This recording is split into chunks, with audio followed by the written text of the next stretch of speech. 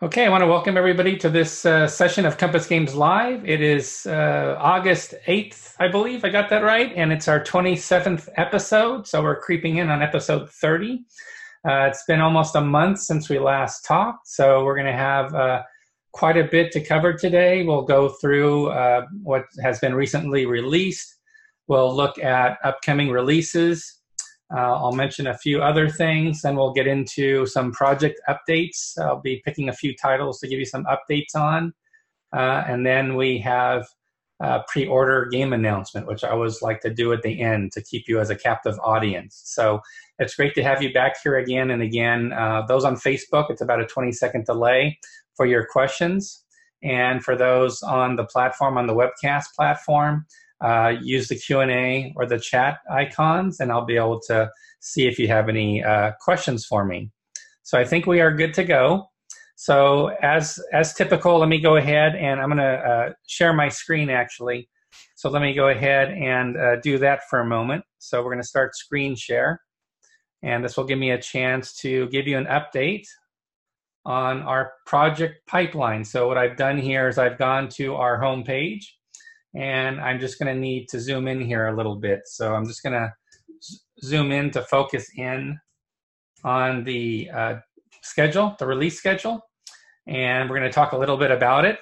So first of all, for our product pipeline snapshot, this is something we make available on our homepage and also on the ConsimWorld forum in the topic header area.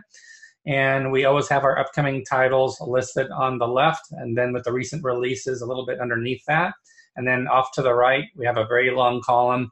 As we add new uh, pre-order announcements from the top down, we add any new pre-order items. So we'll have, after tonight's session, we will have one uh, pre-order announcement for tonight. So we'll add a new item, obviously, when we update our schedule overnight. So uh, since it's been a month since we talked last, I want to give an update on several of our releases since we last talked. So I'm going to actually go to Paper Wars first. So Paper Wars uh, has shipped. That's Pits War. Uh, as you can see here, what we've also done is uh, if you go down to Pits War and you select on the rules errata downloads area, and we're doing this for every any product we release uh, within the first week, we'll provide a link to the rules booklet, which is like a, a, a full screen viewer mode. Uh, and there's also even a PDF download button available in that full screen mode. But if you get a little confused about trying to find that PDF download button, it's not a problem. You'll see off to the right, we have a simple PDF download option, straight PDF download as well. So you've got two choices for any of our recent releases. So Pits War uh, was released several weeks ago. I want to go back to just talk about our other uh, recent releases. So after Pits War and Paper Wars 92, we released uh, Fortress Europa and uh, great to see all the positive. We've gotten a lot of good positive feedback on Fortress Europa, and then it was very nice. About a week ago on Facebook, somebody posted sort of a, a comparative uh, uh, pictorial essay of the Avalon Hill edition to our edition, so you could see the difference with the map, the player aid cards, the displays, uh, the rules, etc. Uh, so again, similar to uh, Pits War, you'll see here on the left, we've got the full. I'll just I'll just click on this so you can see it actually but you can see it goes into a full screen mode of the rules booklet and the download button's sort of hidden. There's a little download upper right, that's the PDF. But again, uh, if you don't want to be in this full screen mode to look at the rules, uh, you can just go back. Uh, you can simply go back to this uh, downloads area and there's a PDF download link on the right. So um, not much to add on Fortress Europa. I've talked about it the last two or three episodes. I think uh, we I think we were right on target. Uh, actually, we've had a lot of success. Um, I, I, think in terms of quality control, we've had a really a good success with everything in the Designer Signature Edition series. I remember when I first joined Compass, the very first title I did was African Campaign, and we did need to ship a few counters in the mail because we had some errors on the back sides. So that was that uh, obviously caught my attention, and I learned a lot from it. But since then, we've had quite a few uh, releases in the Designer Signature Edition line, which is basically a new edition of any classic war games. We've done uh, Red Star, White Eagle, Forgotten Legions, which is two games, uh, which was uh, Drive on Damascus and Bloody Kasserine. And then uh, obviously uh, Fortress Europa. And really, almost all of them are relatively free of any game errata. There's always typically going to be an errata sheet, but it's extremely, extremely small. So um, just really pleased to see people are receiving the game. There's no showstoppers as far as any errata goes. You know, everything, which isn't easy with uh, redoing games. You have to actually recreate the map hex by hex unless you're making changes. And for proofing, it's very difficult to take an old map and redo it from scratch, and you got to make everything identical. So it's always an interesting challenge, and it's it's actually quite tough on our project proofers when we do that. But really excited that Fortress Europa is out there now. Uh, look for some future articles on Paper Wars. We'll probably do some uh, additional scenarios uh, for the game as bonus material. The first thing we're looking at is maybe some uh, some reprinted scenarios, maybe from the old General magazine or from Campaign magazine, something like that. There's some uh, old scenarios that we might take a new look at, and we'll probably put those in uh, Paper Wars. So just again, thanks to everybody for picking up Fortress Europa. And again, the rules are available for you if you want to take a closer look if you haven't seen it before. And then our most uh, recent release is Combat. So again, Combat was released about two or three weeks ago. And again, same story on this one. If you go to um, uh, downloads, actually, I need to add the rules. I thought that we had the rules there already, so I will get the rules for Combat. We'll get those posted. I get those posted tomorrow for everybody, so you can download the rules. Also, for those that uh, direct ordered Combat, we ran into an issue with counter sheets one and two with the back sides being flipped. So it, it, obviously that was a big mistake, and we apologize for that. And I've contacted um, all those that ordered by uh, directly from Compass. I've contacted you all by separate email to sort of explain the situation, and uh, the printers are uh, already working on those free replacement counter sheets, which will automatically mail out to you. And if you talk to anybody, or if you see the game at any store or through an online uh, distributor or a reseller, um, we're not selling, we're not uh, actually uh, shipping any of the combat games uh, to distributors or resellers until the corrected counter sheets are inside the box. So again, it was an unfortunate happenstance that we uh, definitely apologize for for combat. But the printers have already started the work on the two counter sheet replacements. Um, I've got the mailing labels, just got those printed out uh, as well for everybody that ordered direct. And it usually it's about a six week window turnaround time. Whenever we do counter sheets uh, in the United States, takes about six weeks total. So we've been in contact with the printers to ask for them to expedite the printing any way they can. They haven't got, they've started the, the work. Uh, it's queued up, but we don't have an ETA if they're going to be more aggressive than six weeks. We've obviously told them the situation that we'd like to get the counter sheets out to all of you as soon as we can, so we can also also start shipping the product to distributor orders as well. So that's the latest uh, on combat. So again, we do apologize for that, and uh, I've actually seen some posts of uh, the game being played. You know, even with that counter issue, uh, scenario one and two, I've seen some replays. It looks like. Uh, uh, getting some nice favorable results as far as gameplay. So we look forward to getting those counter sheets in everybody's hands. So that's just taking a look back what's happened in the last 30 days since we last talked. I want to quickly cover the release uh, schedule and talk about what we have in the pipeline.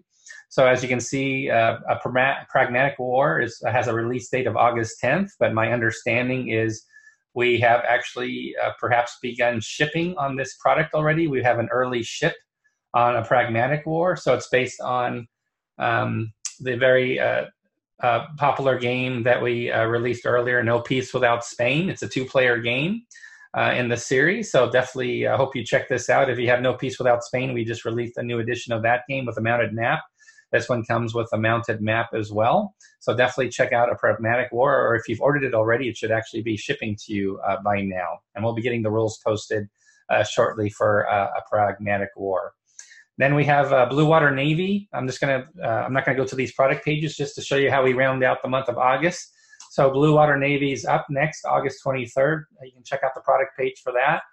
And also uh, the Little Land. And actually, I will go to the Little Land because that's a little further out. And uh, what we've done is we're also adding the bo- box bottoms because it's a lot of information on the uh, uh, back of the box. So for all the recent releases and anything moving forward, I'm trying to make sure instead of just showing the front cover, uh, once we have the uh, back of the box available, given all the information that we can present for a game, I think it's almost like, if you think about it, it almost looks like a print ad in a way. It works well like a print ad, so I think it really helps uh, provide a more digestible format of what's what the game's all about. So if you look at our most recent releases, or if you look at what's coming, you'll start noticing uh, that we have not just the front cover, but also, as you see here, the back covers uh, for the game as well.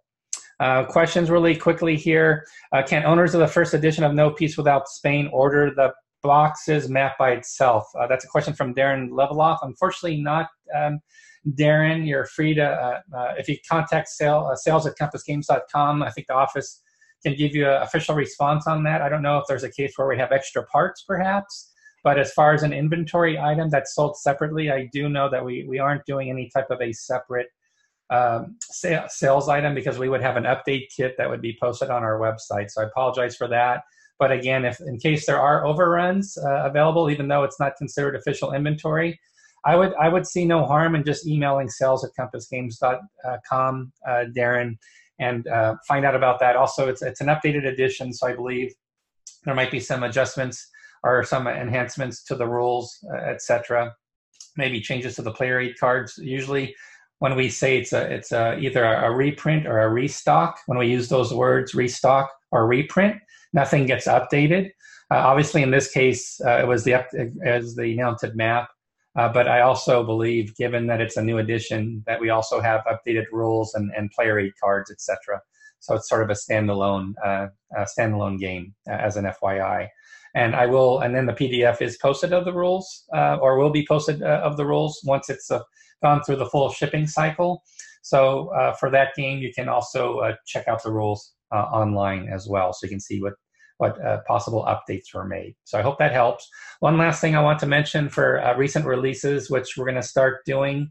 And if you're on Facebook like Darren is, it's it's perhaps something you've already noticed. And I'll, I'll just go to Fortress Europa so, so we have uh, Julian Thomas is helping us now. Uh, somebody we've added as a new team member recently. And what you'll notice in the game description page now at the very bottom, uh, we're adding unboxing videos. So we've done this uh, uh, for two games already. Fortress Europa, we've done that already. So if you just scroll down on the product pages, you can play the unboxing uh, videos for. Uh, we're going to do that for pretty much all our upcoming uh, game releases, just because there's so many so many titles in the queue. We want to make sure you're getting information uh, about the games as soon as possible.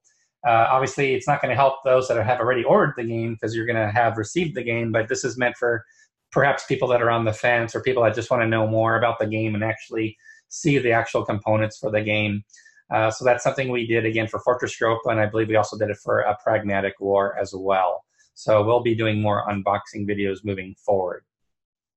So what I'd like to do also is just touch upon uh, also uh, since we last talked, uh, Compass Games was at uh, WBC, the World Board Gaming Championships. Um, we had uh, heard we had a great time there for for those on Compass that were there. We had actually that's Julian Thomas pictured on the left, who's done these unboxing videos, who's started doing those for us. Then we have Gregory Smith, the designer. He's done a lot of great solitaire designs. Most recently, his two-player game. Uh, Pacific Tide, which has been a hot seller for us, has been doing quite well. But Greg's mostly known for what he's done in the past, which has been uh, some purely solitaire games. Uh, and I'll be giving an update on some of his games here in a moment. And then uh, Billy Thomas is pictured to the right. Billy helps us uh, with some several projects, and also he's uh, working the warehouse for us, handles all the orders, etc. But he's also doing projects and other things. So uh, great to have such a capable staff. I was uh, also want to thank Gregory Smith, who was on site at WBC helping staff the Compass Games booth. If you were there, we really appreciate you that you had a chance to drop by.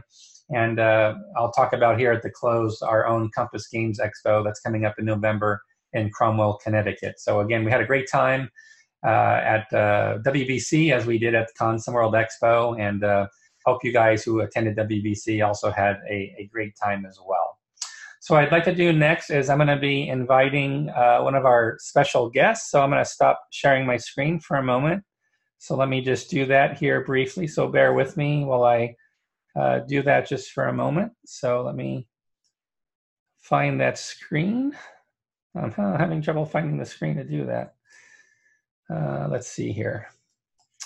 So it's right here, stop share. There we go. Sorry about that. So let me go ahead and we're going to actually invite somebody to chat with you because you guys have to be sick of just hearing from me because I think I've done the last four episodes or so uh, where it was just me. Uh, and uh, that's no fun for you guys. When it's just me talking, that's not good. So uh, I'm going to switch over here to gallery view. And uh, how you doing, Greg? Hey, John. Good.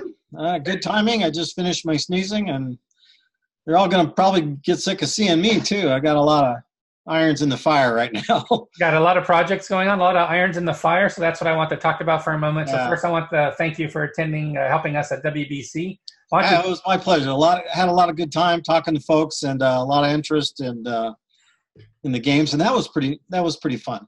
Tell us a little bit more about what you did at WBC. Since I wasn't there, tell tell us while I sip my water here. What what happened? Well, you know, I actually do play war games when I'm there. So I end up playing in the Paths of Glory tournament and the Terraforming Mars tournament, like everybody else on the planet who's trying to get off planet.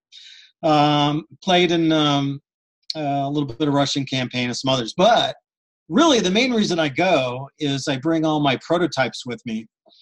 And so I got some you know my my posse i guess for lack of a better term so got a gang of, of folks who like who enjoy playtesting uh, one guy um, you know loves uh, breaking stuff you know he's like oh you know if you do this this and this then the game's broken oh, nice to know so do a lot of good testing fix a lot of stuff um, and this year i actually brought six prototypes with me which was pretty crazy five of them compass games uh, one gmt uh, so it kept me very busy. But I did have the prototype of uh, Interceptor Ace there.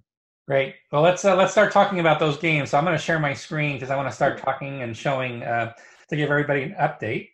So let me do that really quickly here, and let's uh, talk a little bit about uh, Interceptor Ace first. That is on our that is on our release schedule coming up for September. So I'll just show the cover here. I want you to give us the elevator pitch on what Interceptor Ace is all about, and I believe this is related to another one of your games. Well, if, yeah, this is was I was asked, uh, you know, after the success of Night Fighter Ace, uh, you know, my evil corporate overlords, that would be, you know, Billy, say, hey, do a sequel, and I was like, okay, and I thought, well, maybe we could do the daytime. Instead of going after British bombers, let's go after American bombers in the day. Well, you know, as usual with all these projects, easier said than done, but also it was just, you know, night fighter ace, you're, you've got, you're tracking, you're stalking that British bomber in the night, and it's like, you know, pretty fits the, uh, the game uh, engine really well from Hunter, Silent Victory, all the other stuff a lot of changes but radars and what have you, but all right, you can do it. Well, daytime's, you know, not only can you see the bomber, you can see lots of bombers. There's hundreds of them. So kind of had to adjust the engagement for daylight ops, number one.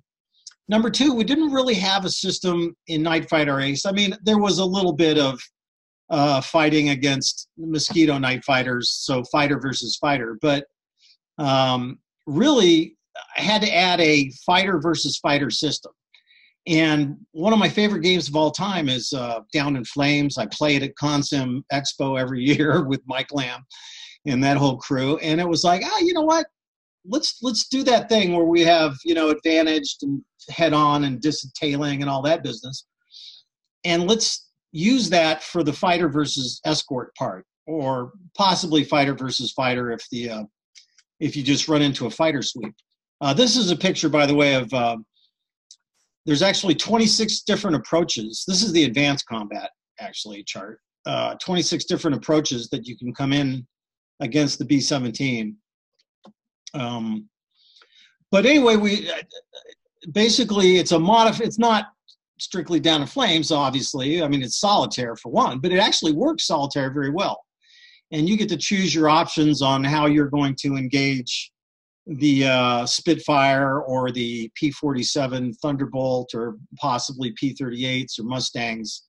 You have to choose how you're going to engage them and uh, play accordingly. Of course, the AI kind of handles the, the enemy aircraft system. Uh, worked a lot on the aircraft. There's 30 different models.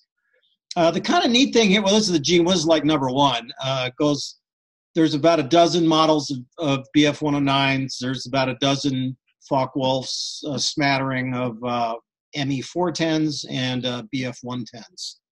The guys with the 37 millimeter flat guns in the nose, the bomber killer versions.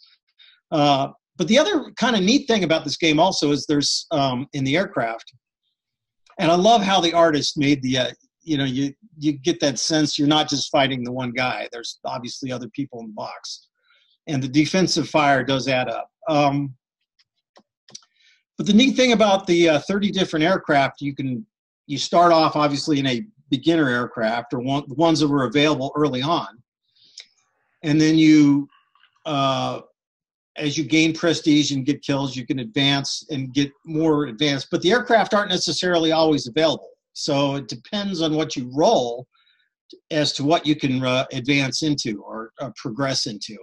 And the other neat neat thing about it is there's these, I don't know, three or four different. They were basically test aircraft, kind, literally one of a kind models.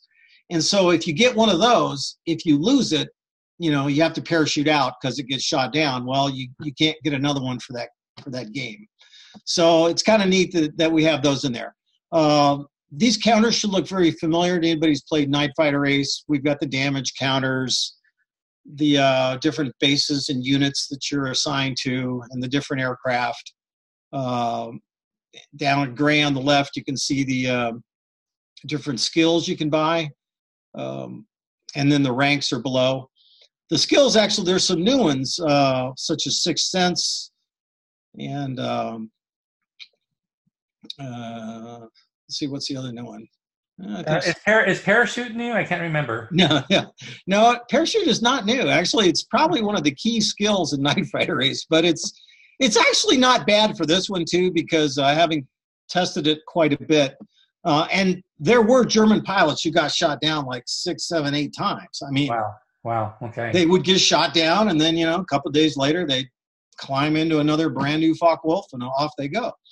Um, so it's not a bad skill to have, but it's certainly, I don't know that it's as vital as, uh, well, no, I, this is probably more vital than it was in, in Night Fighter Ace. I'm getting a little confused. Night Fighter Ace, the key skill is landing because you're landing at night. Yeah, landing at night and uh, yeah, so that was landing. So, all right, so I was a little confused there. Sorry. Yeah, yeah. No, parachute's not new. It's just it wasn't quite as. Okay. okay.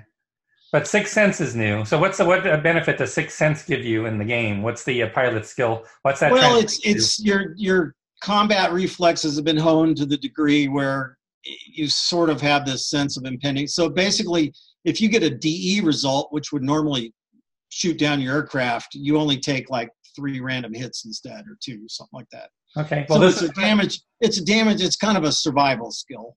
Okay. Well, um, this uh, I'm looking forward to this. Uh, the great, uh, great companion game to uh, Night Fighter Ace for sure, taking it to daylight, and uh, like you said, uh, hopefully folks caught that uh, how you changed and enhanced the uh, had to do fighter oh, yeah, combat. It definitely plays differently. It's not, you know, it's not just a straight rehash. I mean, we had to basically put in an entire new combat system for the fighter versus fighter. But, exactly. I think that's one of the main. And then having 30 different models to choose from, and just uh, they have the history yeah. packed in the box. It's uh, and the uh, research and is there. And, and I tell you what, if there's poured over those charts, well, you know, hour after hour, I don't know what we went through 30 versions. Yeah, just squashing bugs. So I'm I'm feeling pretty good about these charts. That's right. Perfect. Okay. Well, let's uh, let's uh, segue to. Uh, I mentioned Pacific Tide earlier. That's one of our uh, best sellers at Compass. It's been uh, you know it's your first two player design by the way. So you know first of all congratulations on Pacific Tide, but having you, a two-player game. Oh, wait. a two-player game. But could you tell a little bit about the history that you helped co-design? I know Mitchell Ledford's right. taken the lead on this, but a little bit about the history, because my understanding is Ostkrieg actually came before Pacific Tide right. was well, even created. Yeah, Mitch. Mitch is uh, just brilliant, but he has the uh, disadvantage of a day job, so he basically has been designing this and is, does it in his spare time and weekends and uh, but he came down one weekend, I a year ago or a year and a half, whatever it was, and uh, he said, "Look, I have this game." And so we went through it, and uh, basically, it, eh, the card system was so neat. The the concept of rebuying previous year's cards, the ones that you wanted to reuse, and you get the current year for free and it all it's all based on how much you're producing and your build points basically give you more cards if you have more build points um, and i just thought this was so neat because it's such a neat twist on the normal card driven system. Uh, somebody called it deck building, which is, yeah, maybe a little bit, but um, it's not in the normal deck building sense of that word. But uh, but Ostkrieg definitely came before Pacific Tide, and I was so ate up with this. I said, "Oh, this is so neat!" And so I took the Ostkrieg card system and put it into Pacific Tide, but because Mitch, you know, has that evil day job thing going on, he uh, right. uh, Pacific Tide came out first. But it, I'm very happy for Mitch that Ostkrieg has finally come out. I mean, my main effort here was, um, uh, well, you know, but some of the armor rules, having been an armor guy in real life, that kind of was in my ballpark. but but basically, I helped refine the cards. It, well, the cards, of course, that are current in the game don't even remotely resemble the ones we started with. But uh, well, I mean, you know, yeah, basically. But I I basically built about two thirds of the card deck and, and adjusted them, and and then Mitch has taken it from there and tweaked the cards. But basically, um, of course, the uh, placing a card on the table, that mechanic is, is his mechanic, which I've always really liked. It's kind of a neat mechanic. Another mechanic, card mechanic you don't really normally see. Um, but I'm, I'm, I'm excited for this one. I was very happy to help Mitch on this one, and I think it's uh, going to be neat. Yeah, so this is a nice, uh, what I like about Pacific Tide, and obviously the same here, because this is covering all of World War II Eastern Front is we have a fairly small footprint. We have a half size map, 17 by 22. Well, you know, we used to call uh, the uh, code name for this game, so to speak, when we started out, we called it Iron Bunny because it was so small and cute, right? But that was the concept, you know, basically do the whole Barbarossa on a small footprint. And, yeah, no, I think it's great. And I mean, there's tons of Barbarossa games that are yeah out there, but how many of them can be played in three hours? You know, yeah. exactly. And it is just a one counter sheet. Uh, you know, I'll show the counter sheet. Real, you know, it's got the game cards, fifty-three cards, but again, very similar to those that have Pacific Tide. You know, same same concept here. Obviously, I'm not showing any cards in uh, here on the page yet, but obviously the cards are uh, really the heart of the system. Is the card play and activations, and even repurchasing cards played from a previous year but uh, you know, great to see you can do the entire Eastern Front on a small table, yeah. anywhere from three to five hours of total gameplay for two and it players. has the solitaire bot in it, just like Pacific Tide. Yep, solitaire bot, absolutely solitaire bot for solitaire play. So, uh, and then I didn't, uh, maybe I didn't do a very good job uh, advertising this on the back of the box, because we don't mention it on the back of the box. But I know uh, uh, Mitch and you're assisting Mitch as we're working on already West Krieg, which is going to be the companion game that mates up that, that takes Ostkrieg, you add Westkrieg yeah. to it, and you've got the complete European theater of operation for World War II. Well, that, that, was, an, that was another reason Ostkrieg took a little while to get rolling is because the maps aren't weren't done separately. Yeah. The system was actually designed from Jump Street to be the whole thing. Yeah, both. Uh, yeah, the so entire. West yeah yep. seamlessly matches into the Ostkrieg map and the rules and all that. So that was actually very smart call on Mitch's part uh, to say, you know what, let's instead of just doing this one and then trying to cobble something onto it later, let's just design it up front from the get go, seamless integration of both maps and games, and so that'll be cool. And this will but be yeah, Ostkrieg, uh, Westkrieg next. So and this will be coming uh, also in September. So a lot of people comment. I, I see, uh, uh, you know, it's probably just given my my uh, the projects I focus on. There's a lot of focus on designer signature edition, and they say, well, Compass is in the business of doing a lot of reprints or, or really new editions of older games pre And really, if you look what we have here, these are all new designs. We've got your uh, uh, Interceptor Ace, that's a brand new design, and Ostkrieg is a brand new design, plus Westkrieg. Uh, Zeppelin Raider, brand new design. well, you know, so I mean, uh, so I, personally, hey, just as an aside, first, I mean, I don't really work for Compass. I feel like I do, but I mean, kudos to Compass for putting out signature dishes. You know, some of those games are people's favorite games from 30 years ago. Why not? I mean, how cool yeah. is that? I, I don't know. Anyway, well, well moving right along. yeah, exactly. So, so uh, just uh, you know, I'd say about 20% of uh, our releases each year, maybe up to 20% are what would be classified as a new edition of something that was done before, but almost 80 percent are like what's happening in September. You know, all new releases in September. uh, that are coming out. So uh, I'm excited about Ostkrieg, especially just just to know it's going to be mating up. I mean, Westkrieg West Creek will be a standalone game. Don't get me wrong when it is released, but really, I think the the big main attraction of West Creek is you're getting everything in the box where you can combine it with Oast Creek to do a full combined campaign game of the all you know European theater of operation. So that's going to be something uh, really to look forward to. But Ostkrieg, everybody can uh, whet their appetite with Ostkrieg or use the solitaire bot system uh, in the meantime. Yeah. And then we could call it Totaler Krieg. Oh wait. Oh, can't no, can't do that. That's been taken already. Yeah, we're not. Just kidding. Gotta have a sense of humor in this job. There we go. Well, let's, let's do this. This is not considered a pre-order announcement, but uh, I did want to spend some time uh, talking about something that will be on pre-order very soon, imminently on pre-order. I would say. Uh, you know, the next time uh, for my next uh, broadcast, I will be doing an official pre-order announcement for Amerika Bomber, which is one of your upcoming solitaire new designs. But I'd like you to share, give the elevator pitch on where this idea came from and what this game system uh, like. Well, you know, um, I'd done an interview with uh, the playersaid.com people. They interviewed me on Interceptor Ace. And so I, I, don't know how it got around to it, but I was thinking about, you know, well, what's the reverse of, you know, because we all really owe a debt of gratitude back to Glenn Frank, who designed the original B 17 Queen of the Skies. And, you know, whatever, uh, 40 years ago. And the thought was, well, what is what's the reverse of B-17 Queen of the Skies? And I was thinking, oh, it's Interceptor Ace because it's you're shooting down. And then I thought, no, no, the real reverse is Amerika Bomber. So I got this crazy idea. So I thought, oh, you know, so I made one of my charts.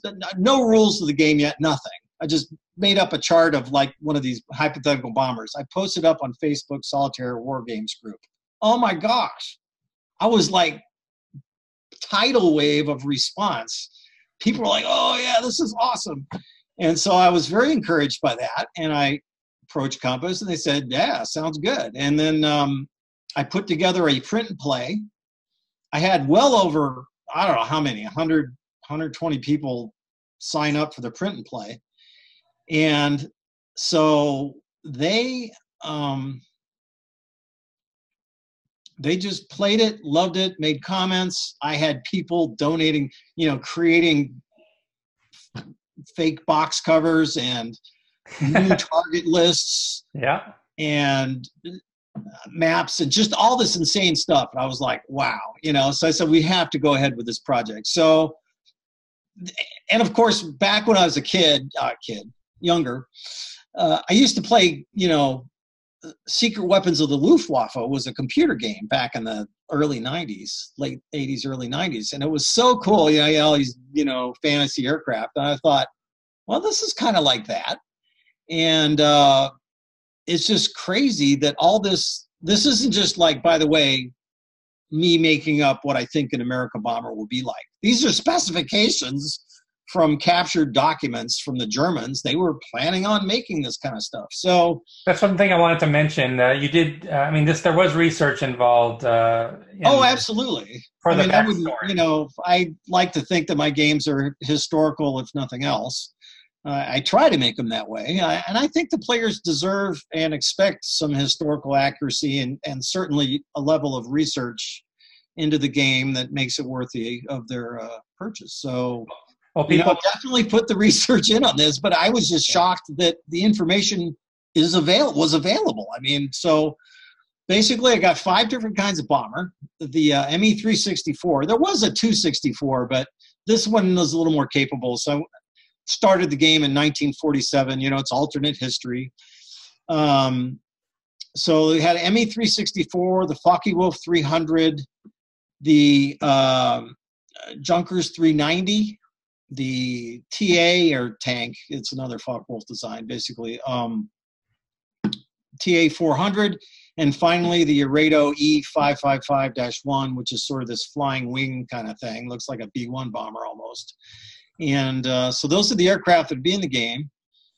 Um, maybe one more, but I think that's probably it. And um, it just the the data was there. It was amazing. So what I did was I took the B17 system essentially.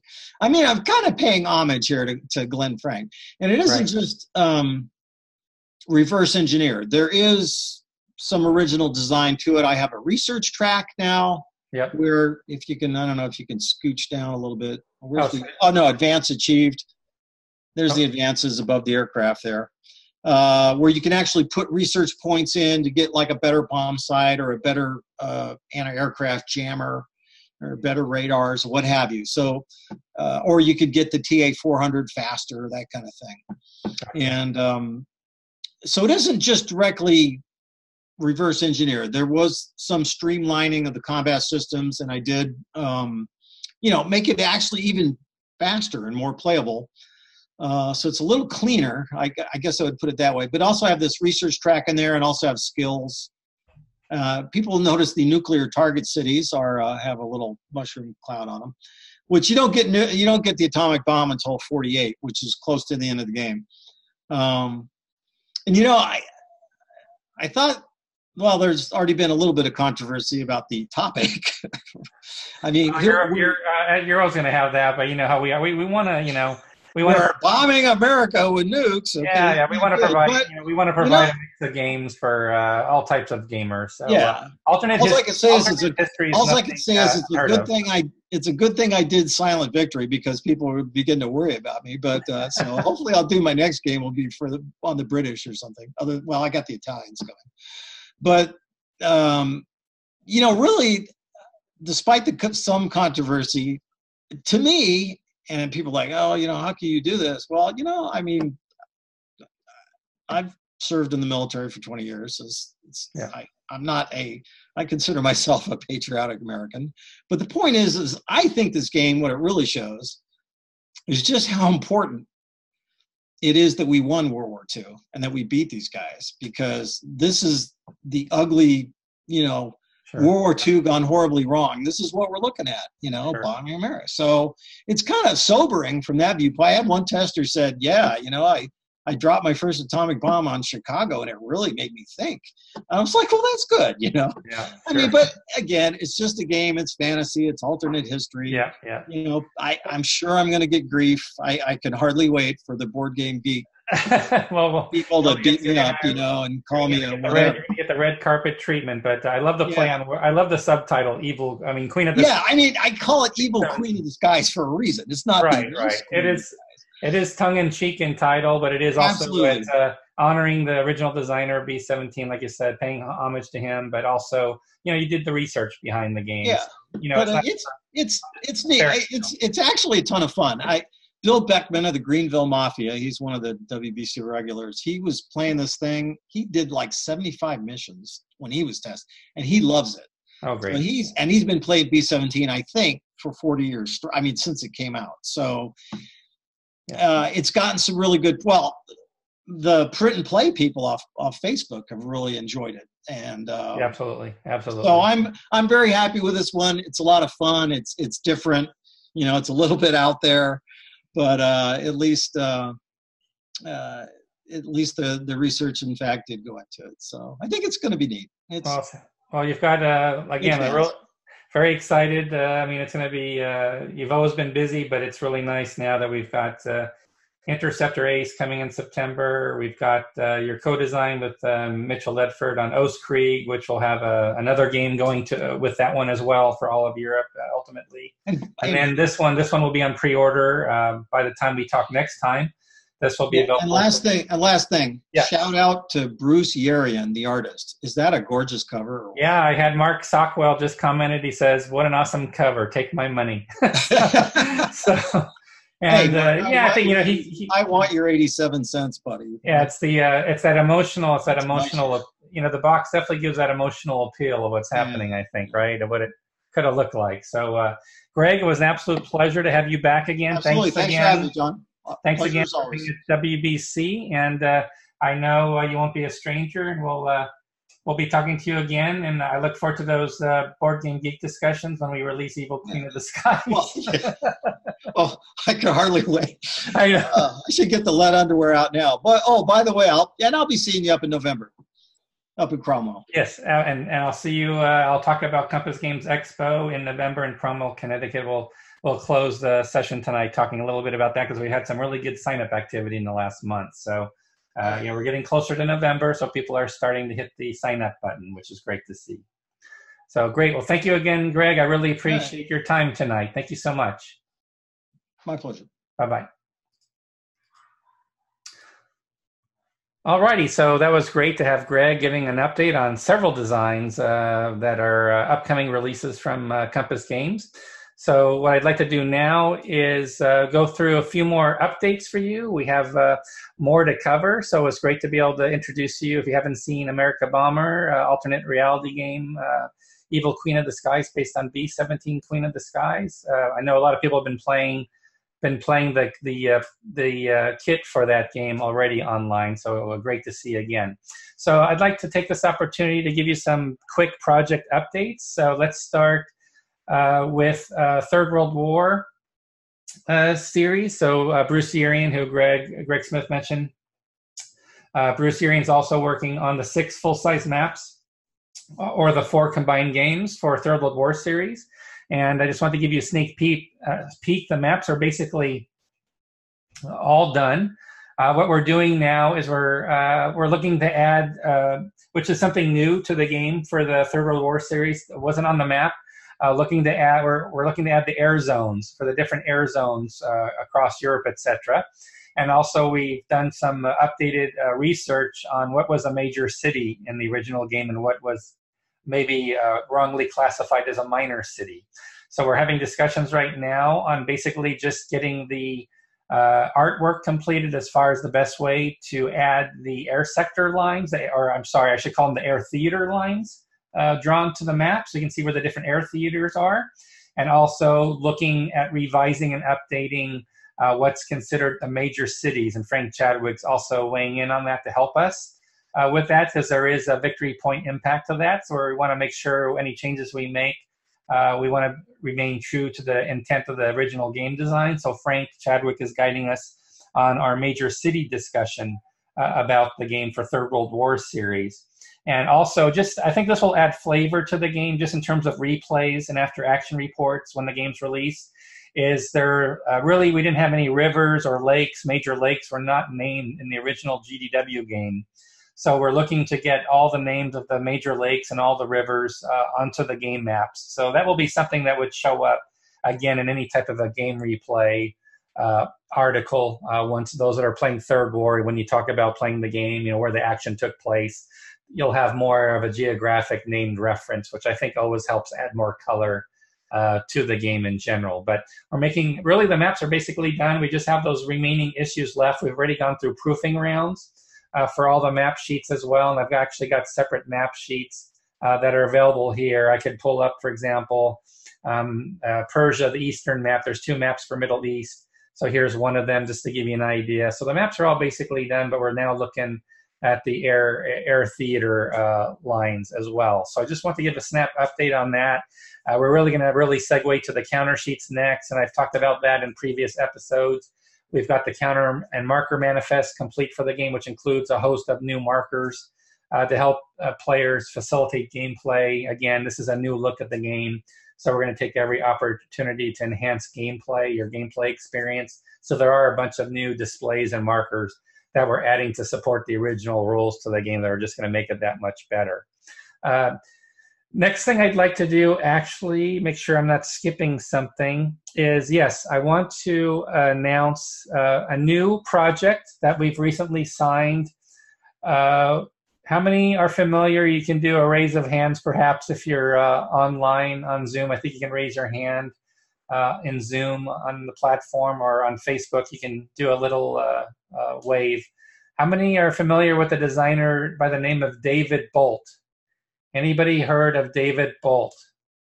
I'm going to wait a few seconds because Facebook has a delay, but those on those that are on right now on our webcast, you can probably raise your hand or flag if you're familiar with the name David Bolt, because I want to talk to you about. We got two of you raised your hand, so let's see. We've got Jeffrey Curtis and Ricardo have raised their hand. Uh, you're familiar with David Bolt, let me help a little bit.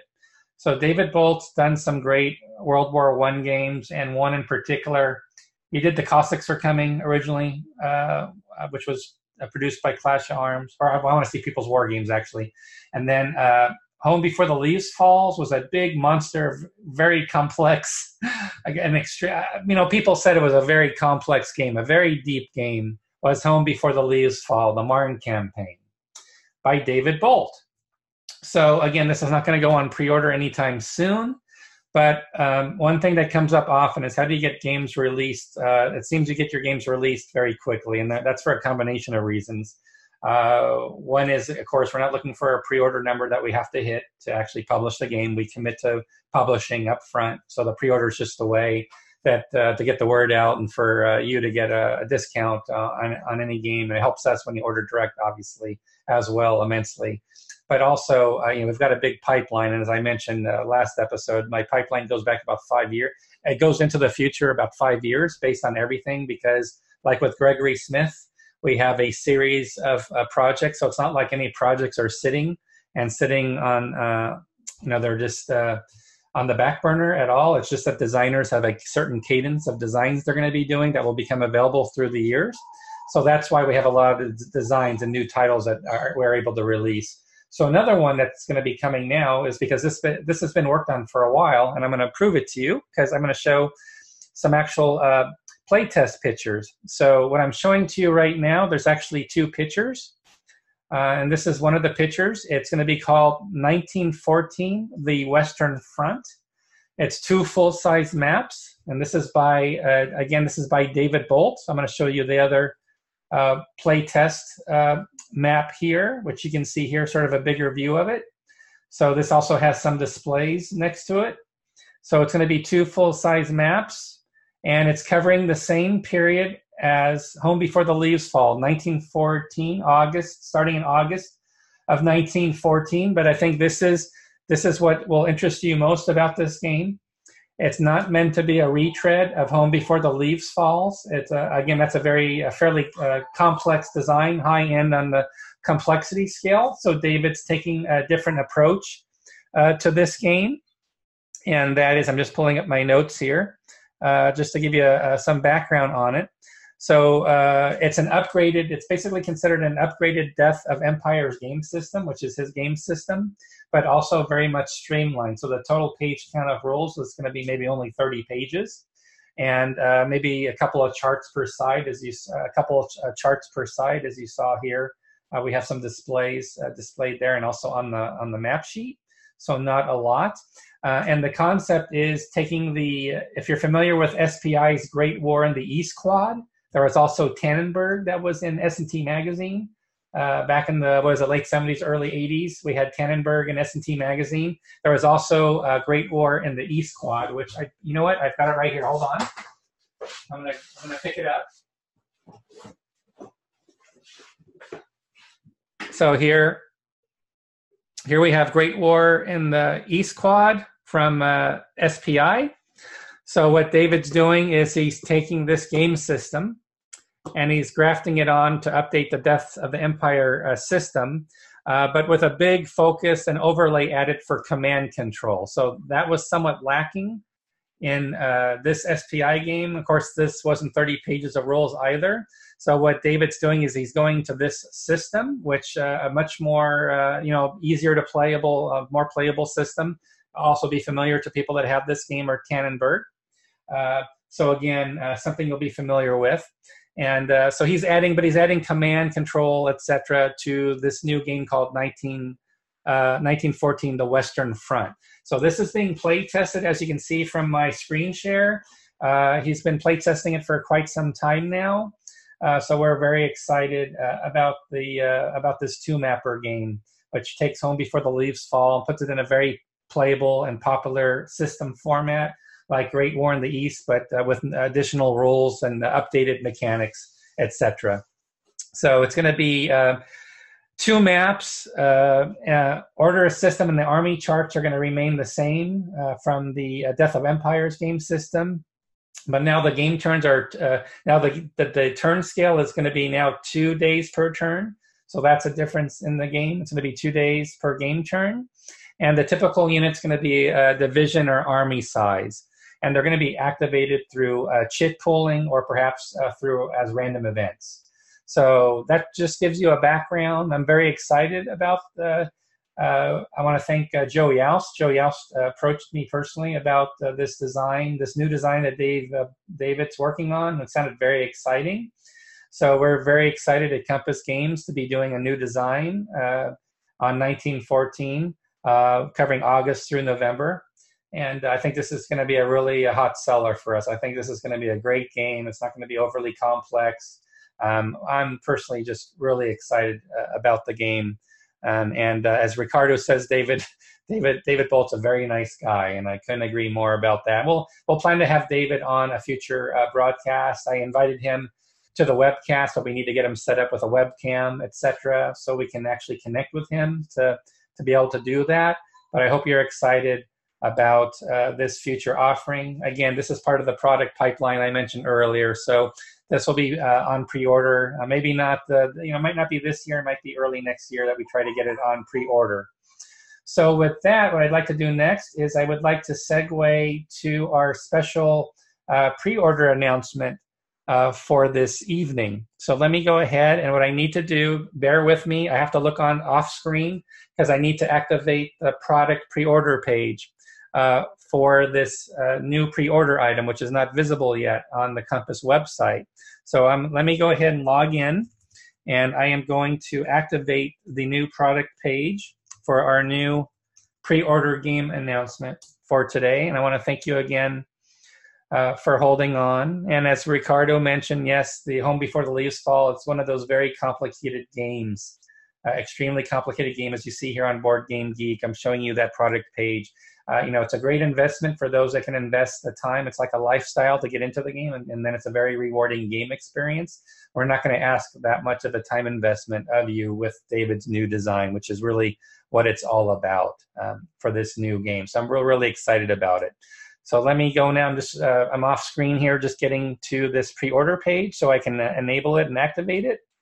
So let me do that now, and then we should be all set. So I'll come back here uh, and let's do the uh, drum roll. Who does the drum roll for me? I need to have an official drum roll person uh, for our new pre-order announcement. So uh, let me go back, make sure I've got the Facebook page open. So uh, glad to see we've got some comments there. Glad to see Vance Von Borries has joined as well. Hello, Vance. Uh, we're just wrapping up the counters for Decision at Kasserine, which is one of my favorite all-time games. So I'm going to go ahead and switch over to the home page here and go to pre-orders, and we're going to do our pre-order announcement uh, for this evening. And again, this is going to be great for those of you that are familiar with the commands and colors uh, game system.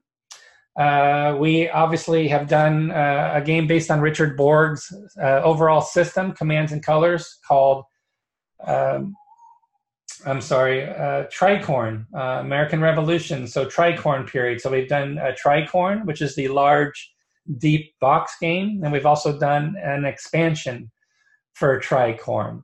And what's exciting about this new pre-order announcement for me personally, what I think is exciting about this is this is a full standalone game. This is not an expansion where you're getting extra uh, blocks and stickers and maybe uh, some type of a different terrain, tiles, etc. treatment.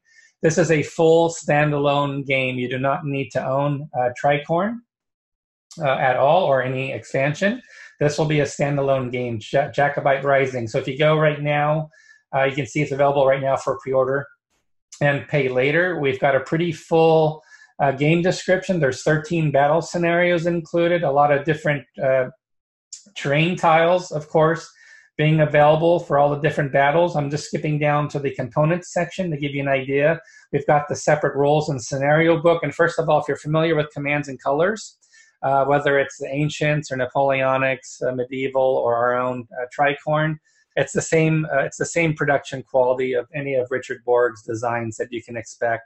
Same from us as with Tricorne. So you're going to get the battlefield game board, which is mounted game map We've got the four different uh, thick punch boards, which gives you the 60 different double-sided terrain tiles, victory banner counters, double-sided uh, clan chief markers.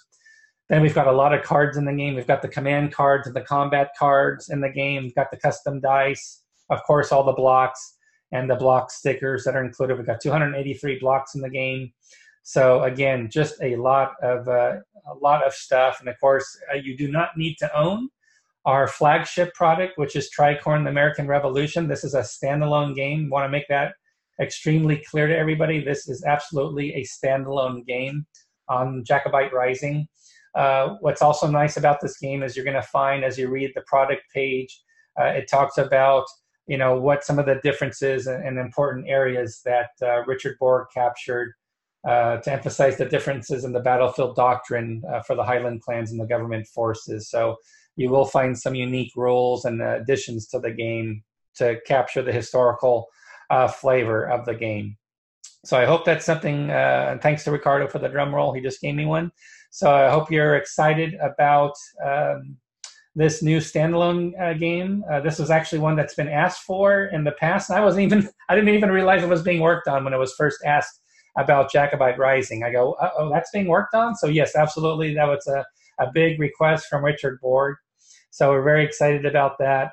Uh, one thing is probably I should take the opportunity now, since I, I mentioned Richard Borg, that there's somebody with a very familiar name, not the same person, obviously we had a big loss in our hobby with the passing of one Richard Berg, uh, who obviously goes back to the days of SPI, uh, which we announced on ConsimWorld and also on the Compass Games uh, Facebook page as well. So I know a lot of you, and actually the people I work with uh, directly on projects, um, uh, knew Richard Berg quite well, or his past designs uh, really helped sort of groom these people as designers, or they, they got inspiration from Richard Berg for the many, many, many game designs he did, and and uh, also in operating ConsimWorld. I don't think there's really any members that haven't played a Richard Berg game or aren't familiar with a Richard Berg game. So obviously, it was a big loss uh, for our hobby, but uh, also I'm, I'm I'm hopeful that Richard is reunited with his son Alex, which was a very tragic loss for him in his life, which he never, frankly, got over. Understandably so, but uh, was really uh, had taken a toll on Richard. So I'm very happy for Richard to be with Alex again.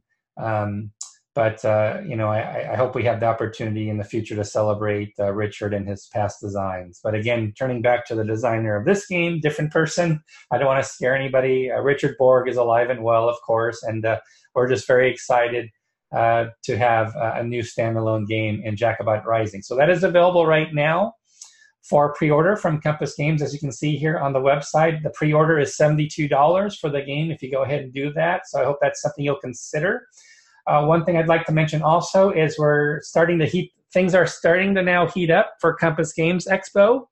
We're almost at the 50 registration mark. So again, you can sign up right here. It takes you to our, if you click on this, it takes you right to our sign up sheet. And then all you have to do besides signing up is you can go ahead, you can uh, enter your personal information when you're arriving and what you plan to play, and you can put in your three game choices, and that's it's that simple. But if you can see from our uh, page uh, from the website, just go to the Expo 2019 option. It's uh, again, it's going to be November 8th to the 11th, uh, Veterans Day weekend. Uh, it's our second annual event. And uh, again, we've doubled the meeting room space, which we're very happy about. We had about 130 people our first annual event last year. So you can see we're approaching 50 attendees now. So uh, very excited uh, to see all these individuals that are signing up. So please check out the attendee list and where they're coming in from to travel in. And also the all important game sign up sheet. Now, there are some special gaming events taking place, so I will update that but I just want to share with you the game sign up sheet that we have here.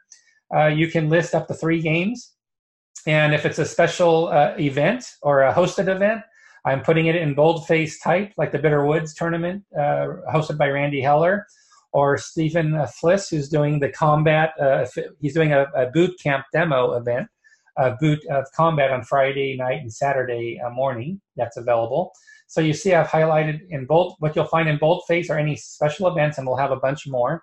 Uh, but I've listed here literally what everybody is signing up for. And uh, once we, uh, we have plenty of table space, plenty of ballroom space, because uh, we doubled our space. But as you can see here in blue, when we have enough uh, people, or if it's a hosted special event, we're going ahead and, and highlighting in blue when we have a match for your first choice. But notice also now I've added uh, new this year in green. I've highlighted in green when we do have along the thread first through the third game choices. I want to make sure people understand, for example, the first choice, absolute victory.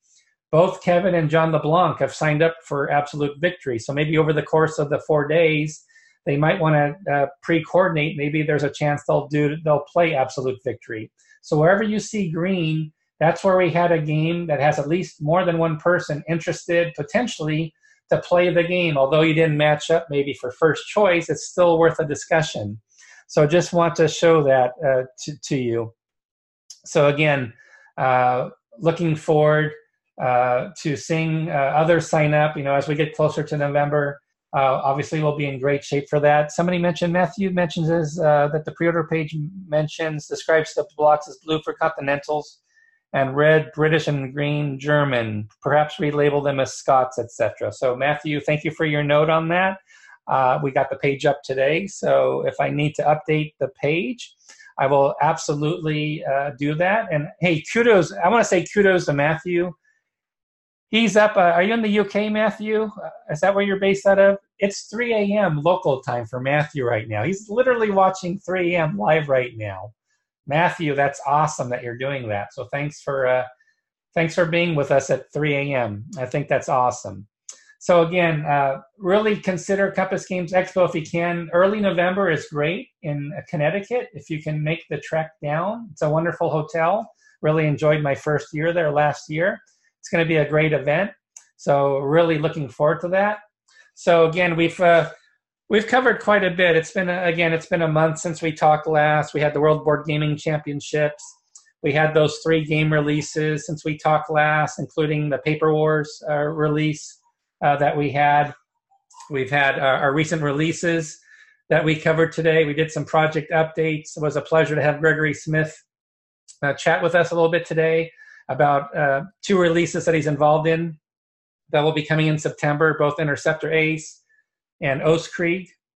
We talked about those, and obviously we'll have on pre-order in uh, very soon. Uh, by the time the next broadcast rolls around, we'll uh, we'll have uh, uh, Amerika Bomber, Evil Queen of the Skies will be available for pre-order as well, which is a, a, just a fun alternate history game that Greg's dreamed up, literally dreamed up, and and put together using that very popular game system, which a lot of people have actually played already. So it's great covering that. It was great to introduce you to our latest pre-order offering commands and colors, uh, Jacobite Rising. So I know uh, folks are going to be looking forward to that new standalone game from Commands and Colors series. And uh, we're obviously excited about some of our future looking uh, forward, future forward looking projects. It's going to be great working with David Bolt on 1914 uh, Western Front. It's going to be a great game, a two mapper on a great game system uh, with some nice enhancements to it. So it's great to welcome David Bolt uh, back to some design work, and we're excited to have him with Compass Games to be working on this project with him. And again, Compass Games Expo, just to close on that, uh, we're really excited. We're getting close to the 50 attendee mark now, so things are going to start heating up as we get closer and closer to November. So uh, great to see that. So I'm just checking if there's any uh, last questions. Uh, asking about Danny Parker's Hitler's Last Gamble game. That's another designer signature edition game. So absolutely, that game is in progress. It's uh, going through a lot of playtesting because there's been some uh, scenarios that have been added to it.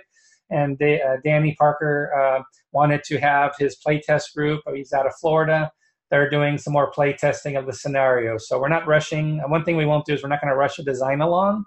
Uh, our pipeline, we're going to adjust accordingly. So while we could have maybe tried to push for Danny Parker's Hitler's Last Gamble, I, I don't want to push on that because we want to wait until uh, until Danny uh, gives us the green light on that. Also, same for NATO from Bruce Maxwell. NATO is going through a significant uh, redesign in terms of the order of battle, even the time period in Europe for that Victory Games edition being a designer signature edition. It's a later period in the 80s with a completely different order of battle.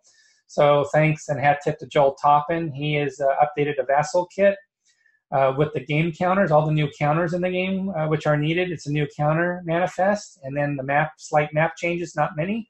So we're going to start play testing of NATO, and we hope to start play testing of NATO on Vassal by the end of this month. So if anybody's familiar with NATO from Victory Games and you want to help play test NATO, I know Bruce Maxwell's put out a call already to those he's noticed online who have talked about his game. He's looking for play testers for NATO because we'll be able to start play testing probably in about the next month. So those are quick updates. Uh, you know, great big product uh, project pipeline. So uh, Hitler's Last Gamble is going through play testing, and now NATO with all the nice enhancements and changes that Bruce Maxwell has made. Uh, that is going through and getting ready for play testing here by the end of August. We hope to see. Uh, let's see here. Uh, also, Gregory Blanchette could really use some play testing and feedback on his Kharkov Battles game. If, and I'm um, I'm pretty familiar with this because it's my favorite game system. It's like the old SPI Operational Typhoon game. Uh, it's my favorite game, which has the untried unit strength, variable combat uh, system in it. love love that series. Uh, love Operation Typhoon. So uh, Gregory Blanchette is looking uh, for additional play testers uh, and look it up. You can look up Kharkov battles uh, on our website. Just type in Kharkov battles on the Compass website. We would love to get some additional play testing for that. Question about Interceptor Ace Western Front. Uh, yes, Greg is Greg is working on Gregory Smith is working on a game uh, for World War One Western Front, and that we don't have a formal update. We didn't talk about it tonight, but that is a game that is in the works. As Greg mentioned, he's working on about six to eight different titles right now. So yes, uh, we are working on that uh, aerial game of World War One. Uh, just we didn't talk about it in detail today. Uh, Uh, Barbera was asking about that game. So Ray, we didn't uh, touch upon that game. it's called. It's going to be called Western Front Ace is the official project title is Western Front Ace, World War One Western Front by Gregory, and uh, we're just looking to nail down the uh, getting the right artist to do the work on this game, and availability is a little tight right now for the artist we're looking for. So we hope to have the artist starting work in the next two to three weeks for Western Front Ace. Uh, so that's going to be a very exciting and big, big, big project title. It's not available for pre-order yet. If anybody's looking for it, it's not yet. It's not yet on our pre-order. But great question. Let me see if there's any other questions. How is the Korea proceeding, Balkoski? Uh, Korea is proceeding very well. So uh, we went through the final proofs of the counter sheets. Uh, it's three full counter sheets, and uh, or I want to say two and a half counter sheets. I think it's a half sheet is the third sheet, if I'm not mistaken. Uh, but I put out one last important call to action, which I do for every designer signature edition, and that is what have we possibly missed for new game markers? or uh, new uh, markings uh, or, or um, new markings or signs we can add to counters that would help with mnemonics for the game. So always when I look at a previous game, we want to look at how we can improve it. That's how we came up with over hundred additional game markers for Third World War series and also new game displays for Third World War game series from GDW. I always like to ask the question at the beginning and then at the end. Okay, now that we're at the end of the counter sheets, what have we missed, forgotten, so there are two ideas for new markers or um, uh, adding little uh, symbols to counters for Korean War. So the counter sheets are effectively done, but we need to run these two ideas by the designer Joe Balkoski about these two uh, concepts to add to the game that we think will enhance the game for better tracking and housekeeping. So unfortunately, Joseph is retired and on vacation this week. So I'm not going to make any progress to wrap up the counter sheets this week. I have to wait for Joe to get back from holiday. But as soon as he gets back online, he's going to see the two questions for him about the counter sheets, about adding some additional markers to improve the game, which we think will improve the game over the original Victory Games release. And then uh, we can wrap up the counter sheets. And then we're going to do the proofing of the game maps, which are done, uh, to make sure we got that right. So that's where we are with the Korean War. So great questions tonight from everybody. I guess that's what happens when I haven't talked to you in about a month. You have a lot of good questions for me. Uh, Pete Mancini mentioned he met Richard Borg at Valley Forge at WBC. Uh, uh, didn't know who he was until he started talking to him about commands and colors. So that's very cool. Uh, any news or updates on Battle Hymn Volume 2? Shiloh and Bentonville. Uh, I, all I know is that uh, Eric Lee Smith is, is the good news is he's working on those, but he does a lot of also his own playtesting development of those two battles.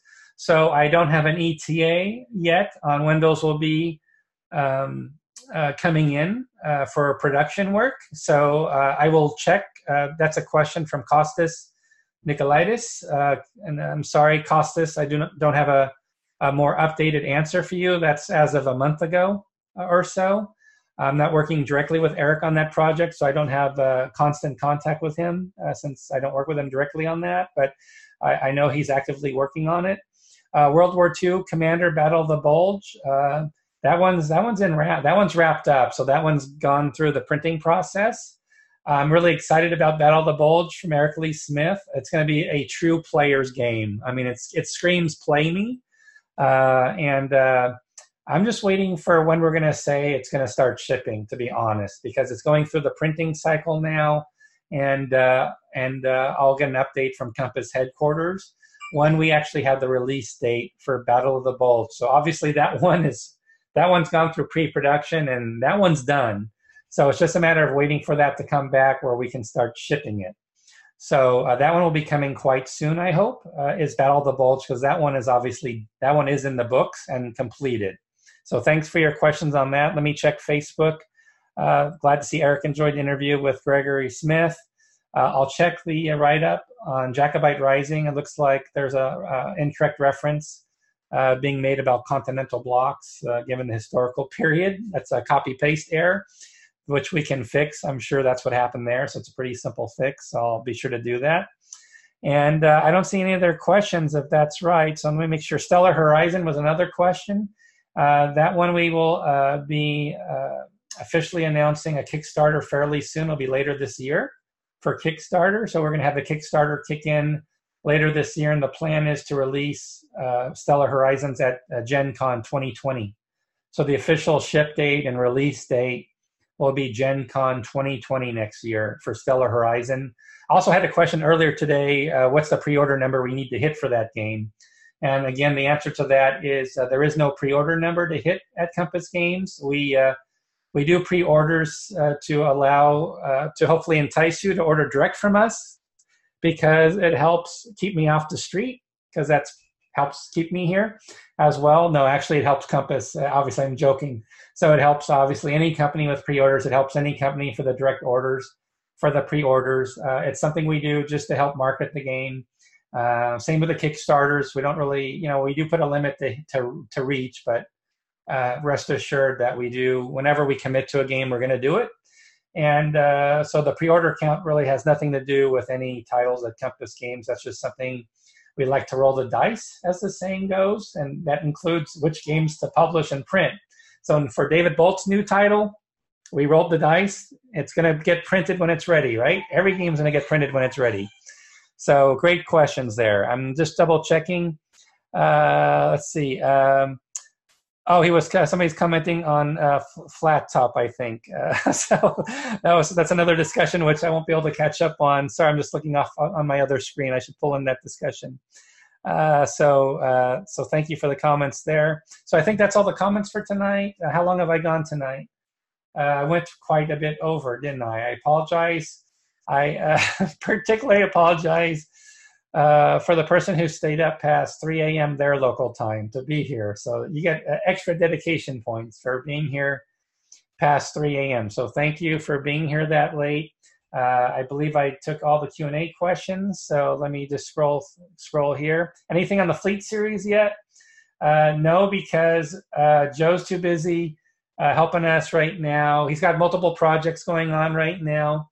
Uh, but uh, he's been busy with us with uh, the Korean War, and i am going to keep him busier because I've got those two questions for him of how to maybe enhance the game as far as some ideas for the counters. Uh, so so we're keeping I'm keeping him busy with uh, Korean War. and then after that, we'll move on to Fleet Series. Then that's sort of how that pipeline works. As I mentioned, we have a three to five year pipeline. So with Joe, you can see how that sort of staggers out because I've got him busy right now in a different game project. So again, thanks for all the great questions. It was great having you all here. Um, I hope this was informative. I hope I answered all your questions as best as I could. And I uh, hope to be back again within a month because we'll definitely have, uh, I know we'll at least have one new pre order by then, which is Gregory Smith's game that we talked about for Amerika Bomber, at least that one, if not others. So I want to thank you again for all your support. Again, I'll get an update out to everybody who's uh, purchasing uh, Combat. I'll be getting out a update to each of you privately when we have a ETA from the printer, just so you know how it's coming along with the replacement counter sheets, which you'll be receiving for free from us with our apologies for that.